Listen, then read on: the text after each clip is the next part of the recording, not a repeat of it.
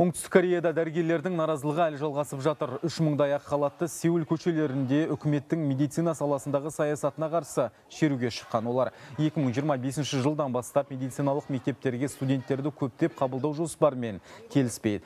Акцияға қатысушылардың айтуынша елдегі дәрігерлердің саны онсыз да жеткілікті. Бірнеше күннен бері 9 мыңға жуық дәрігер қарсылық ретінде жұмысқа бармай жүр.